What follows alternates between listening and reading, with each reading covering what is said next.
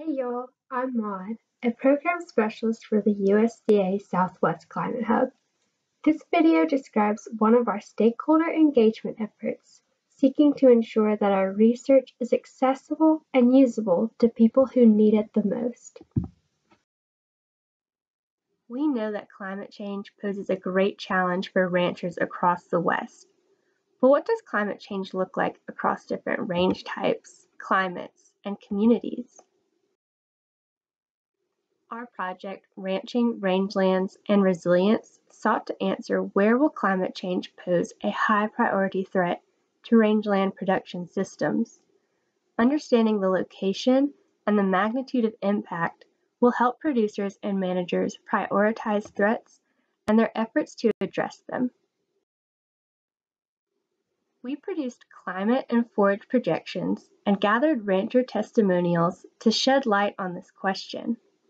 But how can we share these results in ways that are meaningful and helpful to ranchers in their quest for climate change resilience?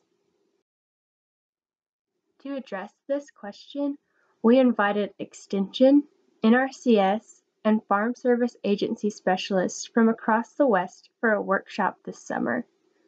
We shared our results, then devoted discussion to hearing from attendees, gaining their opinion on our work, learning about their community's specific barriers to climate adaptation, and how we could package or transform our information to be helpful to ranchers and managers.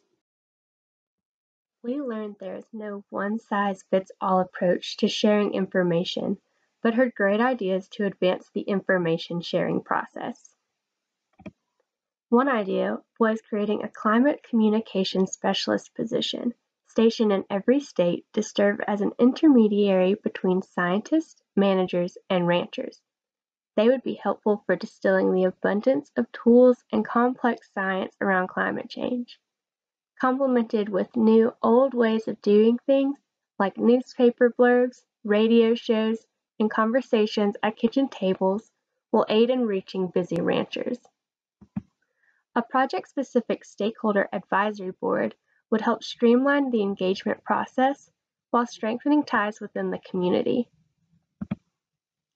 And then creating decision support tools that allow ranchers to pick and choose options that best accommodate their diverse needs and lifestyles while fortifying them against climate change. For a full report on this workshop, along with other resources, please visit the website below or feel free to reach out to me at my email provided.